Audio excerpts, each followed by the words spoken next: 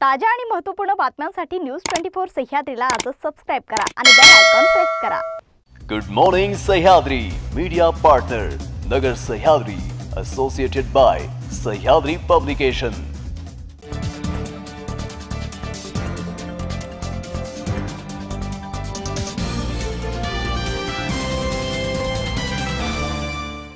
morning मी प्रियंका आणि आपण पाहताय न्यूज ट्वेंटी फोर सह्याद्री. पाहुयात सकाळच्या महत्त्वपूर्ण बातम्यांचा आढावा गुड मॉर्निंग सह्याद्रीमध्ये.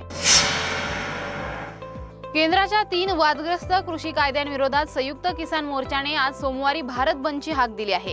या बंदला राजकीय पक्षासह अनेक संघटनांनी पाठिंबा दिला असून काही राज्यात सार्वजनिक वाहतूक व्यवस्थेवर मोठा परिणाम होण्याची शक्यता आहे. केंद्राच्या तीन कृषी कायद्यांना राष्ट्रपती रामनाथ कोविंद यांनी गेल्या वर्षी सत्तावीस सप्टेंबरला मंजुरी दिली होती. त्याला आज एक वर्ष पूर्ण होत असताना हा भारत बंद पुकारण्यात आला आहे. सकाळी सहा पासून दुपारी चार वाजेपर्यंत पाळल्या जाणाऱ्या बंद दरम्यान देशभरातील सर्व सरकारी आणि खासगी कार्यालय शैक्षणिक आणि इतर संस्था दुकानं उद्योग आणि व्यावसायिक प्रतिष्ठानं बंद राहतील तसेच सार्वजनिक कार्यक्रम देखील होणार नाहीत. आपल्या मंत्रिमंडळाचा पहिला विस्तार करताना पंजाबचे मुख्यमंत्री चरणजित सिंग चन्नी यांनी रविवारी सात नव्या चेहऱ्यांसह पंधरा मंत्र्यांचा आपल्या मंत्रिमंडळात समावेश केलाय. यामध्ये रणदीप सिंग नाभा राजकुमार वरका संगत सिंग गिलझियान परगत सिंग अमरिंदर सिंग राजा वारिंग आणि गुरकिरत सिंग कोटली हे सात नवे चेहरे मंत्रिमंडळात घेण्यात आले आहेत. राणा गुरजित सिंग यांचं दोन हजार अठरा साली अमरिंदर सिंग मंत्रिमंडळातून राजीनामा दिल्यानंतर पुनरागमन झालं आहे. राजस्थानमधील सोजत मेंदीला सरकारने भौगोलिक ओळख म्हणजेच दर्जा जी आय टॅग प्रदान केला आहे. त्यातून या उत्पादनाच्या निर्मात्यांना योग्य ती किंमत मिळणं शक्य होणार आहे. यामुळे आता दुसरा कोणीही उत्पादक हे नाव बाजारातील तशाच प्रकारच्या मेहंदीला देऊ शकणार नाही. सोजत मेहंदीला भौगोलिक ओळख मिळणं हे शेतकऱ्यांसाठी लाभदायक असून लघु व मध्यम उद्योजक कलाकार ग्राहक यांनाही त्याचा लाभ होणार आहे. कारण त्यामुळे बनावट उत्पादनांचा धोका टळणार आहे. पंतप्रधान नरेंद्र मोदी यांनी रविवारी एक्क्याऐंशीव्या मन की बात या कार्यक्रमामधून देशवासियांशी संवाद साधला आहे आणि विश्व नदी दिनानिमित्त शुभेच्छा दिल्यात. हा दिवस साजरा करीत असताना जल प्रदूषण रोखण्यासाठी स्वतःला समर्पित करून घेतलेल्या सर्वांचे पंतप्रधानांनी कौतुक केलंय. नदीजवळ राहणाऱ्या देशवासियांनी भारतात ठिकठिकाणी वर्षातून एकदा तरी नदी उत्सव साजरा करावा असं आवाहन पंतप्रधानांनी या निमित्ताने केलंय.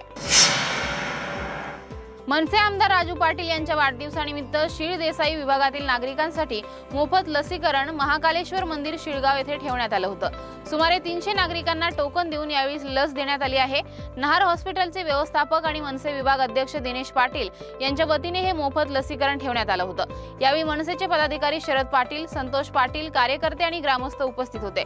तसेच नहार हॉस्पिटल आणि मनसे डोंबिवली शहर शाखा यांच्या वतीने मोफत वैद्यकीय तपासणीसह मोफत औषधोपचार नेत्र तपासणी आणि दंत चिकित्सा डोंबिवली पश्चिम आणि खोनी येथे ठेवण्यात आली होती.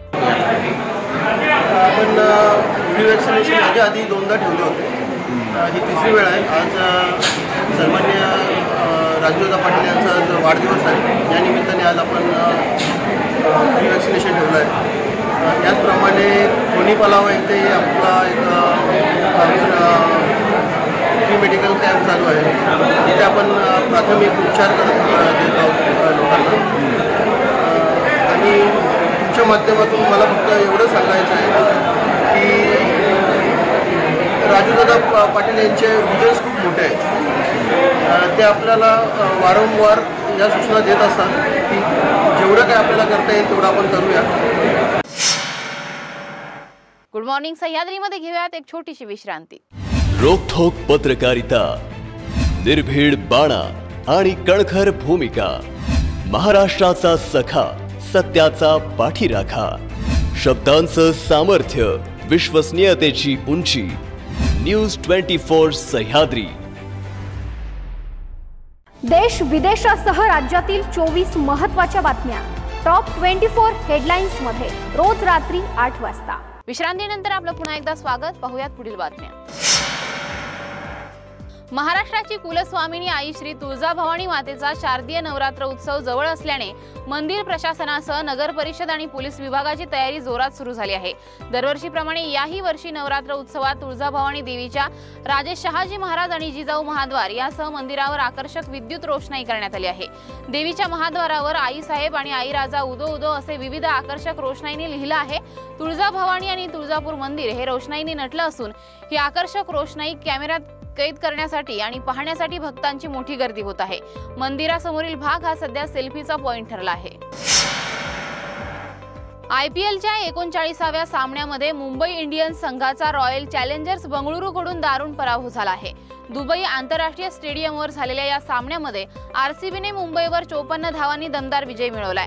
आधी कर्णधार विराट कोहली आणि ग्लेन मॅक्सवेल यांनी धडाकेबाज अर्धशतक ठोकल्यानंतर गोलंदाजीच्या वेळी हर्षल पटेलने जबरदस्त हॅट्रिक घेत मुंबईची फलंदाजी भेदत सामना आरसीबीच्या खिशात घातला आहे.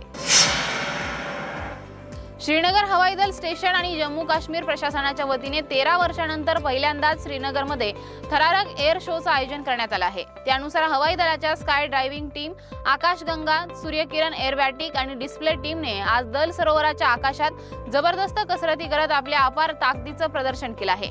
आझादी का अमृत महोत्सव अंतर्गत हा कार्यक्रम घेण्यात आला आहे देशात आज पुन्हा पंचवीस पैशांनी डिझेल मागलंय त्यामुळे मुंबईतील डिझेलचा दर शहाण्णव पॉईंट अडुसष्ट पैसे एवढा झाला आहे.